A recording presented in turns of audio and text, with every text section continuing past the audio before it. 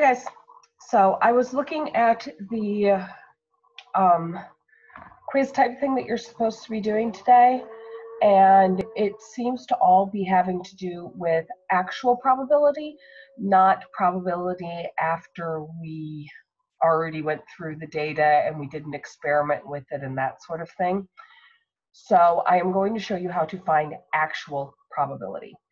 If we have a coin and we are flipping it, We'll either end on heads or it'll end on tails.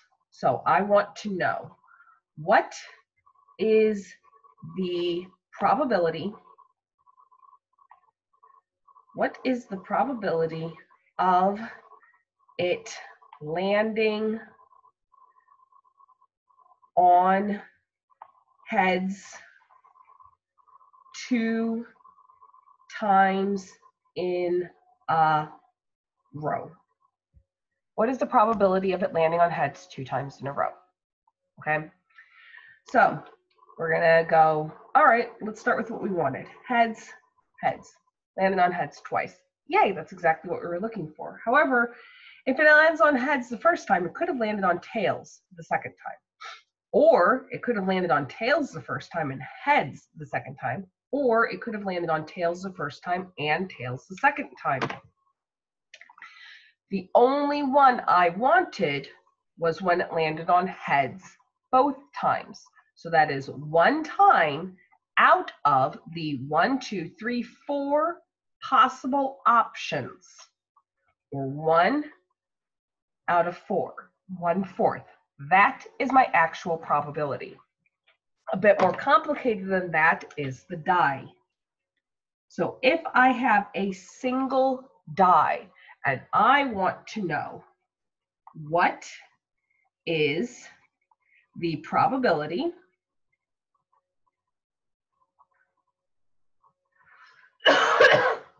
of rolling the same number twice. What is the probability of rolling the same number twice? Well, this one gets a little more complicated because I have six sides to the die.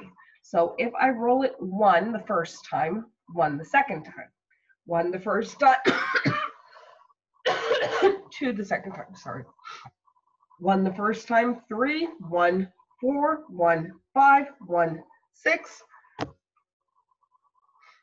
Sorry about that.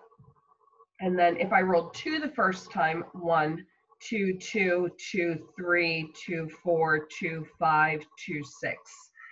And then three, one, three, two. I'm going to come back when I have the rest of it done. Okay, so now as you can see, I have every single possibility. So this is all the ones that I could get if I rolled a one the first time if I rolled a two the first time, if I rolled a three the first time, if I rolled a four the first time, if I rolled a five the first time, if I rolled a six the first time. Only ones I am interested in is when it is the same number twice. So that one, that one, that one, that one, that one, and that one. One, two, three, four, five, six. It happened six times out of six times six for our grid, which is 36 six times out of 36. I then need to simplify it. It will not accept it if it's not simplified. So I can divide out by six, and I get six divided by six, which is one, and 36 divided by six, which is six. And so my actual probability is one six. So all that you need to do is write down every option possible circle the options it wants you to use, and then write how many times what happened, what it wanted to happen happened over how many possibilities there were. Divide it down so it's simplest form, and you have your probability. Okay? Good luck.